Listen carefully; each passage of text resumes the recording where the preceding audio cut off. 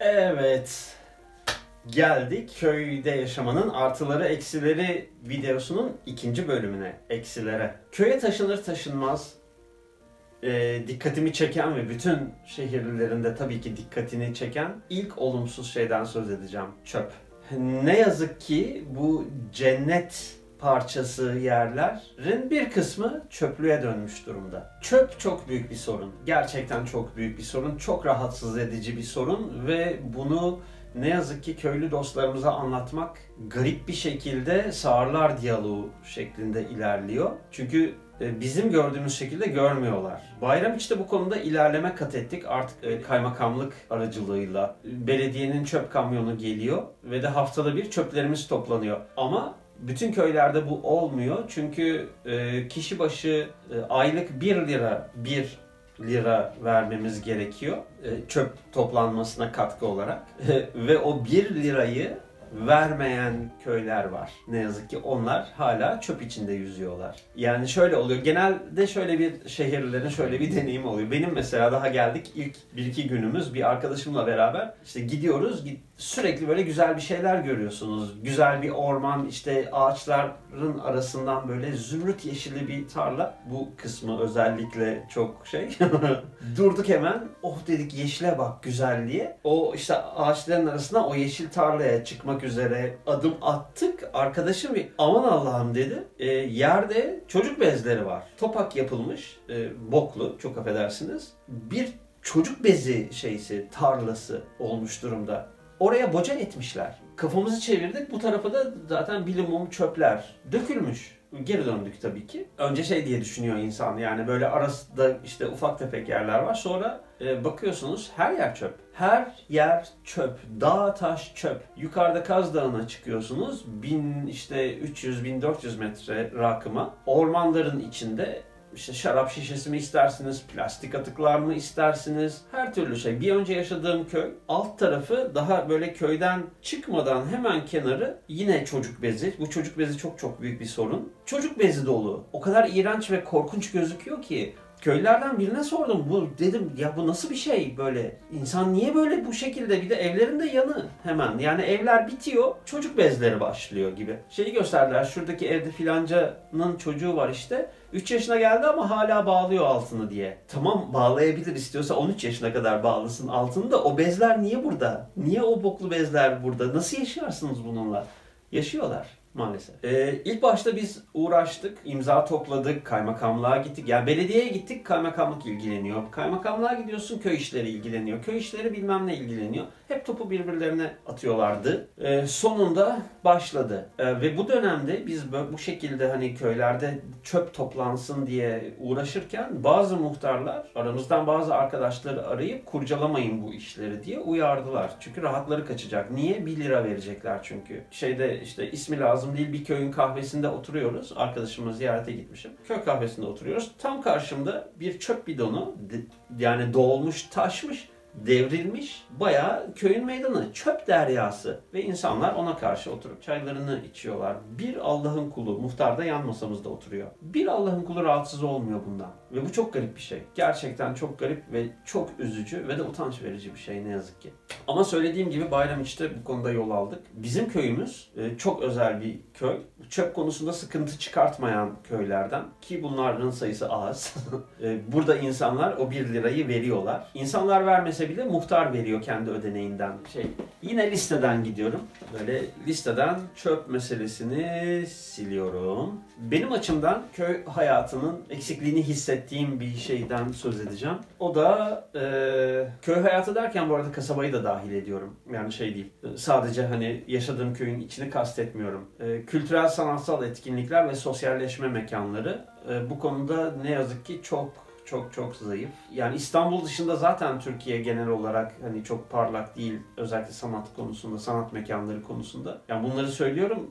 Şunu da söyleyeyim ben e, Mimar Sinan'da okudum resim bölümünde. Ondan sonra da Hollanda'ya gittim okumaya Kraliyet Sanat Akademisi'nde. Her ne kadar şu an resim yapmıyor olsam da sanat bir şekilde hayatımın hep içindeydi buraya gelene kadar. Kenarından, köşesinden bile olsa içindeydi. Ee, burada ne yazık ki yok Yani kültürel ve sanatsal etkinlik e, net olarak yok. Sosyalleşme mekanları konusunda bir ilerleme var Bayramiç'te özellikle. Ben ilk geldiğim yıllarda Bayramiç'te, yani 7 yıldır burada yaşıyorum. Filtre kahve yoktu Bayramiç'te. Şu an espresso da var, cappuccino da var. Mesela benim gibi e, kahve içmeyi seven bir insansanız artık Bayramiç'te kahve içilebiliyor. Ama işte buralar hep dutluktu gibi buralar hep Nescafe'ydi. Sadece. Ee, artık gerçek kahve içilebiliyor. Artık kafe var bir iki tane oturabildiğimiz. Ee, çay bahçeleri zaten var ve de güzeller. Ee, ama hani gideyim de şurada bir kahve içeyim dediğinizde gidip içebileceğiniz bir kahve var. Ama gidip de hani bir şöyle sıcak yaz günü soğuk bir bira içeyim, bir kadeh şarap içeyim, güzel bir yemek yanında onun için ne yazık ki en yakın şehre gitmemiz gerekiyor. Evet, sosyalleşme mekanları ve kültürel sanatsal etkinlikleri de negatif listemden çizdim. Şehirden köye gelenlerin herkesin istisnasız karşılaştığı e, yüzleşmek zorunda kaldığı e, negatif şeylerden biri. Ustalar. Şehirden biliyorsunuz ustalarla uğraşmak zaten hiçbir zaman kolay değildir. E, burada daha da zor. E, çünkü burada bir kere aslında benim hani anladığım şekliyle usta çok az. Evimi yaptırırken tadilatını birinci evde de öyleydi ama bu ikinci evde özellikle su tesisatını yapanlar, elektriği yapanlar kafamı duvara vurdum. Ve bunu gerçekten yaptım. Ustaya e, bir saniye bekler misin lütfen dedim. Gittim içeri odaya kapıyı kapadım. Kafamı üç kere duvara çat çat çat vurdum. Ondan sonra yanına gittim. Nerede kalmıştık? Diyerek.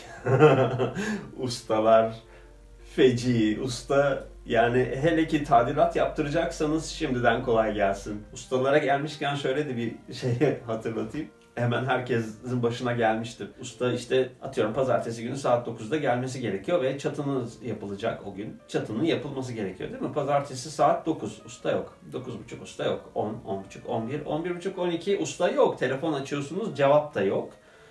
Sonra ne yaptım? O ustayı bana öneren aklıma o geldi. Ona ulaştım. E, Kadir yok dedim. Saat 9'da gelecekti çatı. Yani bugün çatımın yapılması başlıyor. Gerekiyor ki yarın işlerime devam edeyim. Yani her şey planlı. Ben bakayım abi dedi. Biraz sonra geri aradı. Ha abi dedim o müşteriye gitmiş. Nasıl yani? Dedim. ben neyim pardon.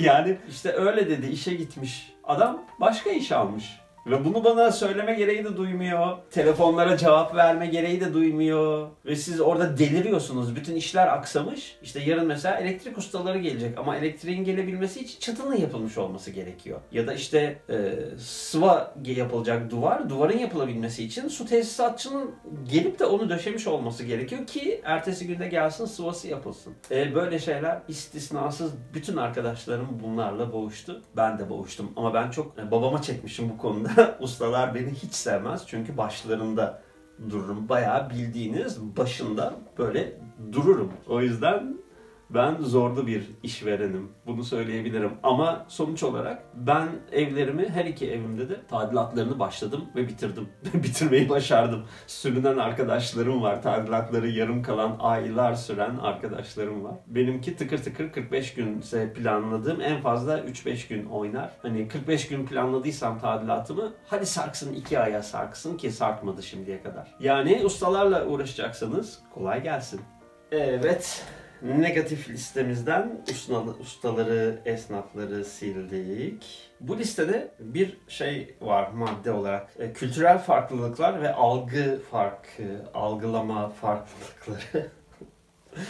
e, burada yine bu bölgede özellikle pek çok arkadaşımın ilk karşılaştığı ve garipsediği şeylerden biri. Özel alana saygı yok bizim anladığımız şekilde. Yani şehirde yaşayan insanın anladığı şekilde. Bir kere herkes herkese bakıyor. Ya benim evime kim gelmiş, kim gitmiş. Dahası Arabayla geçiyorum mesela. Belli bir hızla geçiyorum. Arabamda kaç kişi var? Kim var? Yanımda oturan kim? Kadınsa işte şey mi? Eşim mi? Ya da yaşlıca gördülerse annem baban mı geldi? Gibi şeyler. Böyle ister istemez bir yerden sonra o niye izliyorlar, niye izliyorlar ki gibi oluyor insan. Ama eğlence tabii ki şimdi yeni biri gelmiş köye işte daha az tanıdıkları birisi ve ona gelen herkes onlar için yeni insan ve yeni eğlence. Ama iş burada kalmıyor. Şöyle şeyler oluyor mesela. Kapı açılıyor ve içeri biri giriyor. Kapı çalınmıyor. Kapı açılıyor ve giriliyor içeriye. Siz o sırada sabah kalkmışsınız, üstünüzü çıkarmışsınız mesela Arkamı bir dönüyor. Ha, komşumun oğlu sen ne arıyorsun burada? Niye kapıyı çalmadın? İşte seslendim duymadın abi. Ulan nasıl seslendin duymam? ne işin var burada? E, şimdi erkek olduğum için ben benim evime erkekler giriyor. Kadınlar o şekilde girmiyor ama kadın arkadaşlarım var. Kapılarını kilitlemeye başladılar bir süre sonra çünkü teyzeler çat diye teyzeler giriyor içeri. Bir de giriyorlar hemen oturuyorlar. Ve oturuyorlar. Sen o sırada misafir ağırlamak istiyor musun, istemiyor musun vesaire. Hiç önemi yok. Geliyor ve oturuyor. Yani bu e, gülerek anlatıyorum çünkü bu hani kötü bir şey değil, komik bir şey aynı zamanda bir süre sonra değişiyor. Ee, evet, özel alan kısmını da uzatmadan aslında şöyle bir şey şimdi uzatmadan diyorum ama uzatacağım. İlk evim yeni taşındık. O gün taşındım. Eşyaları taşıdık. Köyden de iki çocuk bize yardım etti. Ayşe ile beraber arkadaşım Ayşe ben. iki tane de çocuk. İşte yerleştirdik içeriye, kurduk da şeyleri. Hadi bir çay yapalım, çay için dedik. Yaptık çayı, çay içtik. Şimdi çocuklar oturuyor. 15 yaşında iki çocuktan söz ediyorum. Oturuyorlar sadece böyle. Şimdi biz Ayşe ile birbirimize bakıyoruz. Şimdi iş yapmamız lazım. Evi düzeltmeye devam edeceğiz. Hani bir şeyleri kuracağız, edeceğiz. Çocuklar gitmiyor. İşte ee siz ne yapacaksınız? Bundan sonra ne yapıyorsunuz filan gibi şeyler söylemeye çalışıyoruz. Hiç şey yok, tık yok. Şimdi bir şey sordun mu cevap geliyor da sormayınca cevap da yok, muhabbet yok. Oturuyor sadece böyle çocuk. bir yarım saat filan biz böyle geçirdik. Ayşe ile şimdi ne yapacağız? Ne demek gerekiyordan sonra Ayşe durdu. Çocuğun adını hatırlamıyorum şimdi. Galiba Mustafa'ydı. Ee dedi Mustafa, günün geri kalanı için başka planın var mı yoksa oturup Murat abini mi seyredeceksin dedi. Çocuk bakıyor, bir şey de yok, cevap da yok bir de. yok planım yok filan dedi sadece. Ve biz şey demek zorunda kaldık bir yerden sonra artık demek zorunda kalıyorsun. Hani artık giderseniz biz de hani rica etsek deyip bir şekilde hani gönderdik. Ama bunlar bir şey yani eğlenceli anılar bunlar. Hani negatif listesine koyuyorum ama gördüğünüz gibi gülerek hatırlıyorum ve gülerek anlatıyorum. Çok şey değil. Şimdi bu söyleyeceğim e, bazı bölgelerde daha fazla dikkatini çekiyor arkadaşlarım biliyorum. Yani bazı şeyler bazı YouTube'da mesela videolar seyrediyorum. Bundan çok fazla yakınıyor insanlar. Bizim burada daha az ama var az olmakla beraber. Şehirle eşittir para. Yani pazarda mesela teyzeye soruyorsun. Teyze kereviz ne kadar diyorsun. Bakıyor böyle sana böyle bakıyor, bakıyor. Yukarıdan aşağı süzüyor, tekrar bakıyor. İşte atıyorum 3 liralık mı? 5 lira diyor. Lan bütün pazarda 5 liraya yok o yani. Her yerde 3 lira zaten. Bütün tezgahlarda ama sen şehirlisin. ama söylediğim gibi bunların sayısı az. Buna karşılık çok candan, çok iyi niyetli ve çok içten insanların sayısı daha fazla. Ee, ama yine de hani akçeli işler biraz sorunlu olabiliyor. Hani bazı insanlar gerçekten size bakınca sadece para görüyor olabiliyorlar. Ben şey de yaşadım mesela işte yani ilk geldiğim yıllarda yaşadığım şeyler bunlar. Aralık ayı oldu. Baklaların artık hani baklaların ekilmesi gerekiyor. İşte soğanın ekilmesi gerekiyor. İşte artık ek ek onu ya ekeceğim diyorum. İşte ek ekmiyorsan hani gelelim biz şey yapalım ekelim sana dedi. Ben de şey diye algıladım onu. Tamam dedim yani nasıl ekildiğini de bilmiyorum zaten gösterecek bana. Geldi bir yarım saat filan sürdü. Yarım saat bir saat sürdü ufacık bir yer zaten yani. Ektiler. iki kişi geldiler bu arada. Ektiler. Teşekkür ettim. Gittiler. Ertesi gün oğlu geldi. Abi dedi bizimkiler hani dün geldi sana şey ekti ya dedi. Soğan. Ha dedim. İşte yevmiye dedi. Nasıl ya? dedim. Paralı gelmiş meğer ben bilmiyorum bunu. Ve ben yemeye vermek zorunda kaldım. Hem de iki kişilik vermek zorunda kaldım. bir saatlik şey ne? Soğan ektiler. Soğanlar 3 lira, yemeye 80 lira şeklinde.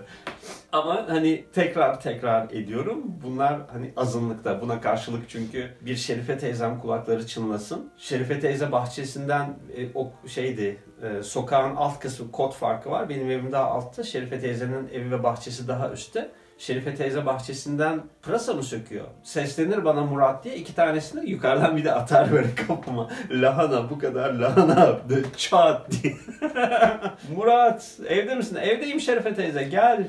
İşte salata söküyorum, marul söküyorum. Söker, koyar bir torbaya bana atar aşağıya. Ya da sabah kalkarım işte bahçe kapısına bir poşet asılmış burada. Mesela Sabit abi bu köyünden. Sabit abi zaten ayrı bir olay. Yani ah desen Sabit abi koşar. Her şeye o kadar çok emeği var ki benim ve diğer şehirlilerin üstünde. kulakları çınlasın. Çıkarım şeye sabah işte bahçeye kapımda böyle bir torba işte bayram iç beyazı asılmış ya da elma ya da her ne varsa Sabit abi gelmiş asmış gitmiş. Şey bile söylemez bile gelir asar gider. Onun, bunlar da mesela şehirde olmayan köyün güzellikleri. Negatif listesi yapıyorum ama şimdi negatif listesi yaparken bunları söylemek zorundayım. Çünkü bunlar çoğunlukta. Sinirimizi bozan şeyler azınlıkta kalıyorlar. Şerife teyze ve Sabit abinin de kulaklarını çınlattım. İkisini de çok seviyorum çünkü. Ondan sonra birkaç tane küçük şey sıkıntı. Temiz gıdaya ulaşımımız mesela e, burada daha kolay demiştim. Ama köylü ne yazık ki hem tarım ilaçlarını, tarım zehirlerini çok kullanıyor ve de herbisit çok kullanıyor. Otlara karşı atılan zehirler. Bu Monsanto'nun korkunç Roundup'ı. Ben ilk başlarda şey diye düşünüyordum. Acaba Monsanto'nun adını bilen var mıdır? Roundup'ı duymuş olan var mıdır diye. Meğer herkesin elinde Roundup varmış. Herkes çatır çatır Roundup sıkıyor otlara. Çapa derdinden kurtulmak için. Ve bu çok yaygın ne yazık ki. Çok az köylü kullanmıyor. İşte burada zaman geçirdikçe onları da tanıyorsunuz. Bahçesine ot ilacı atmayan, küçük şey ekiyor. Mesela bir Sabahat ablamız var. O ot ilacı atmıyor, şey de atmıyor.